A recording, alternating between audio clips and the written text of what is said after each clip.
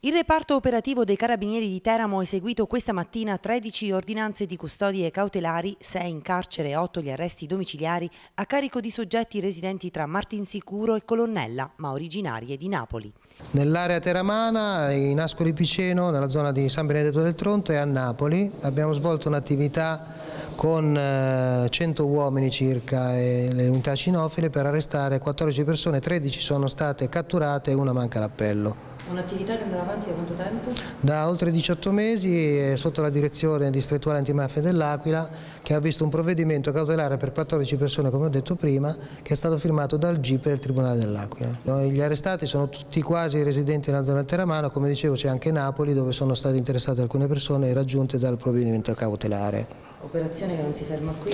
No, abbiamo 72 persone che sono state sottoposte ad indagine e quindi ci saranno ulteriori sviluppi.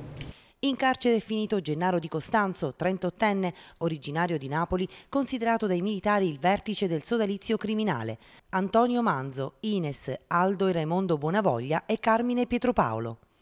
Agli arresti domiciliari è finita l'unica teramana coinvolta nell'operazione, Donatella Mancini di Colonnella, oltre a Patrizio Andolfi, Antonietta Di Giorgio, Anna Maria Bonavoglia, Immacolata Odierno, Andrea Iozzi e Francesco De Luca. A tutti viene contestata l'associazione finalizzata al traffico illecito di sostanze stupefacenti con l'aggravante del metodo mafioso per tre dei soggetti arrestati. L'articolo 7 prevede la contestazione del metodo mafioso che è stata fatta in capo al capo dell'organizzazione che risulta essere contiguo al clan Amato Raffaele degli scissionisti.